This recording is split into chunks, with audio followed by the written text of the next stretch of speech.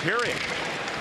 But all it takes is one. Here's Schenn shoots, and there it is. Schenn ties the game with 3.29 to go. Another power play goal.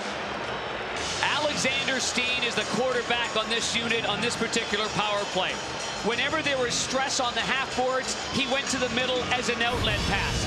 And when, when he does that, you can see Steen's right here on this side right here. But you keep it, keep your eye on him because he's the outlet.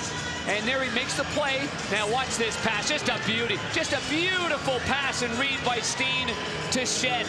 And Schenn, boy, feeling good now, tying this game up.